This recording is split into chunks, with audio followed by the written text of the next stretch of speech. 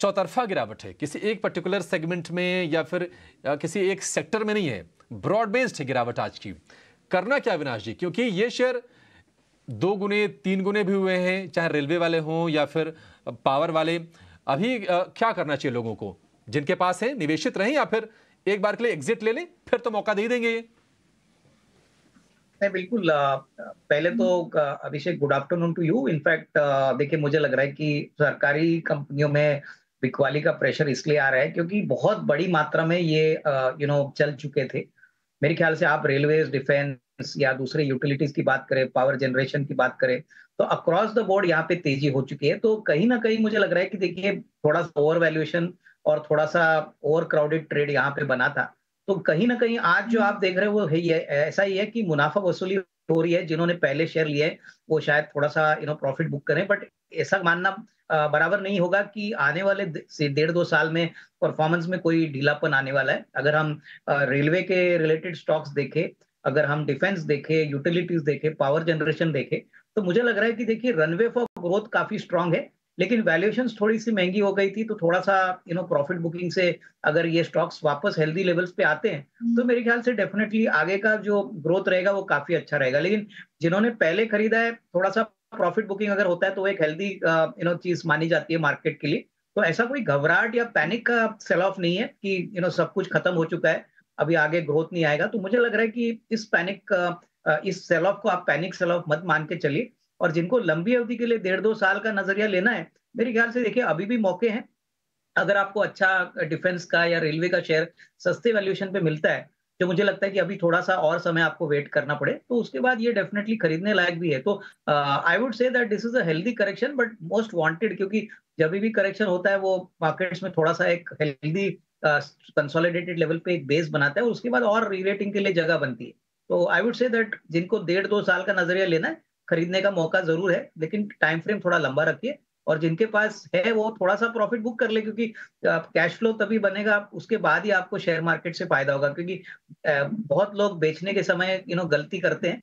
तो थोड़ा सा बेचना कोई प्रॉब्लम नहीं है बट हाँ जिनको फ्रेश खरीदारी करनी है एसआईपी के मोड पे थोड़ा थोड़ा खरीद लीजिए, क्योंकि ग्रोथ मोमेंटम अभी भी पीएसयू स्टॉक्स में मुझे नहीं लगता है खत्म हो चुका है। अगर आप बैंक्स देखे रेलवे देखे पावर स्टॉक्स देखे डिफेंस देखे तो बहुत ग्रोथ अभी भी आना बाकी जी। आपको मेरे को एक हाई कन्विक्शन वाला ट्रेड बताना है। आपके पास बहुत सारे शेयर्स रहते हैं। रिसेंटली आपने काफ़ी सारी अटेंड भी की होंगी कॉल्स वगैरह। अगर कहीं से कोई नया शेयर भी है तो वो भी आप बता सकते हैं सर अगर आप पुराना नहीं बताना चाहते तो। नहीं, बिल्कुल देखिए डिम्पी मुझे मेरे पास दो शेयर है जो जो अभी भी हम क्लाइंटों को हमारे सजेस्ट कर रहे हैं। क्योंकि हमको लगता है कि देखिए, बाज़ार में ऊपर नीचे करेक्शन तो आते रहेंगे। लेकिन ये ऐसी कंपनी है जहाँ पे अर्निंग्स ग्रोथ और जो बिज़नेस पोजिशनिंग है बहुत स्ट्रांग है और एक कंपनी जो है वो आईएमएफएल स्पेस और अभी एथेनॉल में एंटर कर रही है। कंपनी का नाम है एसोसिएटेड एल्कोहल्स देखिए, ये कंपनी की खासियत है कि पिछले पाँच साल में मैं बैलेंस शीट देख रहा था। इनका बैलेंस शीट पे कर्जा बहुत ही वेल कंट्रोल्ड है। अभी एक्सपेंशन के लिए अस्सी नब्बे करोड़ रेस किया है। लेकिन अभी भी इनके पास फुल हंड्रेड परसेंट कमीशन हो जाएगी और एथेनॉल का जो रेवेन्यू स्ट्रीम है वो आपको F Y twenty four twenty five में देखने को मिलेगा। पिछले साल 700 करोड़ पे 42 करोड़ का मुनाफा किया था। इस साल नौ महीने में ऑलरेडी कंपनी ने करीबन यू नो बयालीस ऑलमोस्ट थर्टी एट करोड़ का प्रॉफिट किया है। तो हमारा मानना है कि मोटा मोटी इस साल कम से कम पचास करोड़ का रेवेन्यू आएगा, लेकिन एफ़ वाई ट्वेंटी फाइव के लिए हमको लग रहा है कि करीबन पैंसठ करोड़ का प्रॉफिट आफ्टर टैक्स आने की उम्मीद है। अर्निंग पर शेयर की बात करें तो एफ़ आई ट्वेंटी फोर के लिए सत्ताईस, अट्ठाईस रुपए की अर्निंग आएगी, जो करीबन चौतीस, पैंतीस रुपया एफ़ वाई ट्वेंटी फाइव के लिए आएगी। बहुत ही अंडर वैल्यूड स्टॉक है। सबसे बड़ी बात मार्केट शायद इसको इग्नोर कर रहा है क्योंकि लिक्विडिटी कम है अठारह करोड़ की इक्विटी है। लेकिन आ, काफ़ी यू नो मैं समझता हूँ कि ऐसे स्टॉक्स में जहाँ पे लिक्विडिटी थोड़ी सी लिमिटेड है लेकिन फंडामेंटल स्ट्रॉन्ग है यहाँ पे एक अच्छा रिस्क रिवॉर्ड बैठ सकता है। करीबन साढ़े पाँच सौ का टारगेट प्राइस हमको लगता है यहाँ पे पॉसिबल लग रहा है तो ये ऐसे मार्केट में आपको ज़रूर खरीदना चाहिए। आ, क्योंकि मार्केट्स को जैसे ही बनक लगेगी कि एथेनॉल का कॉन्ट्रीब्यूशन रेवेन्यू में आ रहा है इस अच्छी रीरेटिंग होने की पॉसिबिलिटी है। और दूसरा शेयर जो अभी आपने स्क्रीन पे दिखाया, वो आईआरसीटीसी है। देखिए, ये एक मोनोपली बिज़नेस है। रेलवे स्टॉक्स में बहुत बारी बिकवाली हो चुकी है, लेकिन मेरा मानना है कि अगले दो साल के लिए रेलवे जिस प्रकार से पैसा खर्चा कर रही है पैसेंजर कार का भी जो क्वालिटी ऑफ़ ट्रैवल जो है, वो गवर्नमेंट बहुत अच्छी तरह से फोकस करे और जो रेलवे मिनिस्टर है मिस्टर यू नो जो जो उन्होंने कहा है कि बहुत अच्छी तरह से सर्विस क्वालिटी इंफ्रास्ट्रक्चर क्वालिटी वो इम्प्रूव करेंगे। आईआरसीटीसी ने पिछले साल साढ़े तीन हज़ार करोड़ के रेवेन्यू पे हज़ार करोड़ का प्रॉफिट कमाया उनका इंटरनेट टिकटिंग बिज़नेस तो मार्केट में मोनोपली एंजॉय करता ही है। तो ये बिज़नेस चलता रहेगा इसमें कोई फ़र्क नहीं पड़ने वाला। और मुझे लगता है कि अगले दो साल में अगर हम देखें एफ़ वाई ट्वेंटी फाइव और ट्वेंटी सिक्स तो करीबन अढ़ाई हज़ार से तीन हज़ार करोड़ का प्रॉफिट पॉसिबल लग रहा है। बिज़नेस समझ में आने लगा। दूसरा पॉइंट एसोसिएट एल्कोहल्स नाम की कंपनी है। सर ने ऑलरेडी आपको बता दिया एथेनॉल वाली खबर का रीजंस और ये साढ़े पाँच सौ तक हो सकता है। दोनों शेयर नोट कर लो। दोनों फंडा वाले शेयर हैं। दोनों बढ़िया शेयर है। विनाशर की गारंटी है इस पर आप इसका फ़ायदा उठाइएगा ज़रूर। छोटा सा ब्रिंग डिविडेंड दिया है। कमेंट्री भी अच्छी है। आप कुछ गाइड कर पाएँगे सर कि आखिर ये शेयर क्यों टूट रहा है और आज अब करना क्या है? हालाँकि कुछ ब्रोकरेज हाउसेज हैं, जैसे कि मॉर्गन स्टैनली गोल्डमैन सेक्स, उनका ये कहना है कि वैल्यूएशंस को लेकर थोड़ी सी आउट तो हीरो मोटर का बहुत अच्छा है कैश फ्लोज भी काफ़ी स्ट्रांग है। तो मेरे ख्याल से ये एक यू नो रिएक्शन है रिजल्ट्स के बाद कि रूरल मार्केट डिमांड स्ट्रांग ना होने के कारण जो ग्रोथ आने वाले एक दो क्वार्टर्स में आएगा, वो थोड़ा सा धीरे ही आने की उम्मीद है। तो उसीलिए शायद थोड़ी सी प्रॉफिट बुकिंग हो रही है, लेकिन मुझे लगता है कि थोड़ा सा और करेक्ट होने के बाद अगर स्टॉक कंसोलिडेट करता है तो डेफिनेटली रूरल मार्केट पिकअप जब होगा, तभी बाउंस बैक भी इक्वली शार्प होगा। तो मेरे ख्याल से देखिए टू व्हीलर मार्केट में हमने काफ़ी कंपनियों से बात की हमने यही देखा है कि वॉल्यूम ग्रोथ अभी काफ़ी ज़ोर से वापस आ रहा है। बहुत लंबे समय के बाद टू व्हीलर का जो मार्केट है, वो पॉजिटिव ग्रोथ दिखाने की क्षमता रखता है। तो यहाँ पे मुझे ख्याल से होल्ड करे। पैनिक में ना बेचे। जिनके पास पहले खरीदे हुए हैं और जो डिलीवरी में यू नो मानते हैं डिलीवरी स्टॉक लेके इसको कोई फ़िक्र करने वाली बात नहीं है। हाँ एकदम शॉर्ट टर्म के लिए जिन्होंने खरीदा है, मेरे ख्याल से वो पोजिशन निकल सकते हैं। बट अगर छह से बारह महीने का टाइम फ्रेम आपके पास है तो यहाँ पे होल्ड करने की राय मेरे ख्याल से अगले साल डेफिनेटली रूरल मार्केट पिकअप होता है तो इनको डेफिनेटली सबसे ज़्यादा फ़ायदा मिलेगा।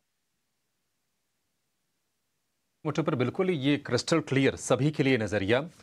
सीमे के नतीजे आपकी स्क्रीन पर आय डबल हुई है। मुनाफा में कंपनी आई है घाटे के मुकाबले। दो करोड़ रुपए का घाटा था, पचपन करोड़ रुपए का मुनाफा है। एबिडा यानी कामकाजी मुनाफा इस फ्रंट पर भी नतीजे बहुत अच्छे।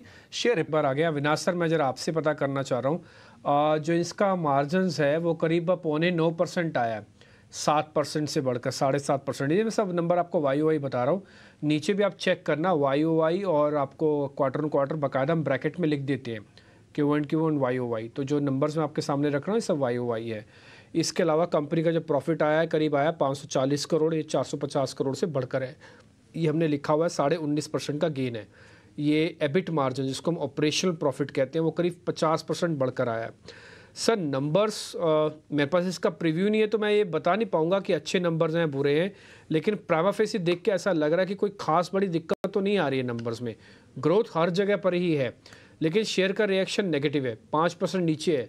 सर, एक बार जरा आपने अगर असेस किया तो जरा देख के बताएँगे नंबर्स को कैसे रीड करें।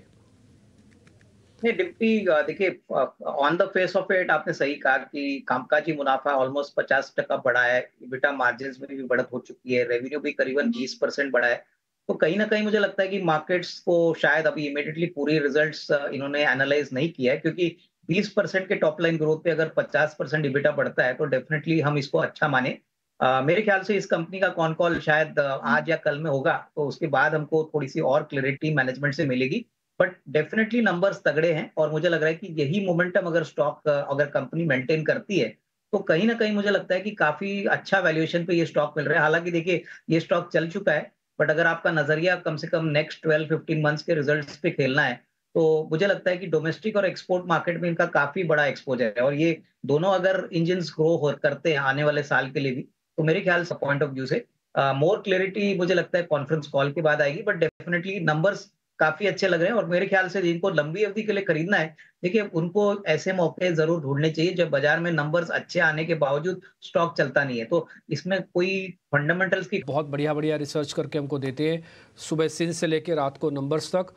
पहले आशीषा और आपका शरद, बहुत शुक्रिया। आपने अच्छे से हमको एक कंपाइल करके दिए इस बार के नंबर्स पंद्रह तारीख को नंबर्स ख़त्म हो जाएँगे तो मैं पहले ही आपको दोनों को थैंक यू कर देता हूँ। शरद, आपसे ज़रा शुरू करते हैं। ये ज़रा लास्ट में बताइए आयशर के नंबर कैसे आ रहे हैं? ज़रा इसके बारे में भी आइडिया दीजिए। जी, बिल्कुल। आयशर मोटर्स की बात करें तो हमने सीक्वेंशियल नंबर्स को चेक किया। यहाँ पे रेवेन्यू थोड़े म्यूटेड रह सकते हैं। लगभग दो परसेंट का गिरावट आ सकता है। मार्जिन सपाट रहने का उम्मीद है। लगभग 26 परसेंट का आंकड़ा रहेगा और पैट की बात करें तो 5 परसेंट की गिरावट सिक्वेंशली देखने मिल सकती है। अब इंपॉर्टेंट बात यह रहेगा, जो रॉयल इनफील्ड है, उनके वॉल्यूम्स की अगर बात करें तो सिक्वेंशली थोड़ी गिरावट आएगी almost point five percent but अगर ईयर ऑन ईयर बेसिस पे देखें तो डोमेस्टिक वॉल्यूम में तो इंप्रूवमेंट आएगा, लेकिन मार खाया जाएगा वो है एक्सपोर्ट्स पे। अगर बात करें ओवरऑल तो जो मार्जिन आ रही है आपके रॉयल इनफील्ड की, वो लगभग 28 परसेंट का एक्सपेक्टेशंस है। लेकिन जो प्रोडक्ट मिक्स का वीकनेस के कारण जो है थोड़ी सी मार्जिन में दबाव देखने मिल सकती है। अगर बात करें कमर्शियल व्हीकल सेगमेंट की तो यहाँ पे मार्जिन की इम्प्रूवमेंट देखनी रहेगी। और ओवरऑल जो है, अभी भी मिक्स सिग्नल्स लग रहे हैं पैट में, क्योंकि अलग अलग सेगमेंट्स के अलग मार्जिन की एक्सपेक्टेशन है। लेकिन तीन अहम बात होगी जो आपके अर्निंग्स को डिफाइन करेगी। सबसे पहला है प्रोडक्ट लॉन्चेस की क्या टाइमलाइन होने वाली है स्पेशली प्रीमियम प्रोडक्ट्स को रॉयल इनफील्ड को। इसके अलावा एक्सपोर्ट आउटलुक और जो कमर्शियल व्हीकल कमेंट्री है जो कमर्शियल व्हीकल्स में क्या टर्न अराउंड हो रहा है, क्या बॉटम आउट देखने मिल रहा है हमें सी का अप साइकिल वो बहुत इंपॉर्टेंट रहेगा। तो ओवरऑल आइशर मोटर्स की कमेंट्री ज़्यादा इंपॉर्टेंट है अर्निंग से इस बार।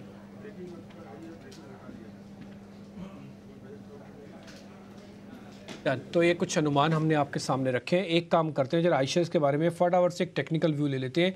श्रीकांत, एक बार जरा आइशर चेक करेंगे। मार्जिन अबीटा थोड़ा प्रेशर में इस बार आ रहा है। आप जरा बताइए शेयर भी प्रेशर में है क्या पहले रिज़ल्ट से पहले? देखिए, अगर शेयर्स की बात करें तो यहाँ पे तो बिल्कुल भी प्रेशर नहीं दिख रहा है। इनफैक्ट इसमें काफ़ी अच्छी एक तेज़ी बनी है। और शायद मुझे लगता है कि ये तेज़ी थोड़ी और जारी रह सकती है अप टू चार हज़ार चार हज़ार एक सौ तक, यानी कि यहाँ से दो सौ, ढाई सौ रुपए की तेज़ी और बन सकती है। तो करंट लेवल से अगर कोई भी पोजीशन है तो मुझे लगता है इसे भी होल्ड करके चले। जिस प्रकार की तेज़ी बनी है, मुझे लगता है कि हायर लेवल्स पे थोड़े और मौके मिलेंगे यहाँ पे जो भी मुनाफा है वसूल करने के लिए। तो करंट लेवल से बिल्कुल होल्ड करें और अगर कोई लॉन्ग के लिए स्टॉप लॉस रखना है तो सैंतीस का स्टॉप लॉस हम रख सकते हैं। सैंतीस सौ पचास का एक स्टॉप लॉस रखे फ़िलहाल तो अभी लॉन्ग रखें। नंबर्स मोटा मोटी हमने आपके सामने रख दिए। अगर ये नंबर्स थोड़े भी ठीक आते हैं तो आप ये समझ के चलेगा कि शेयर्स का रिएक्शन ठीक होगा। इसलिए होल्ड है, बकायदा होल्ड की स्टैंप है।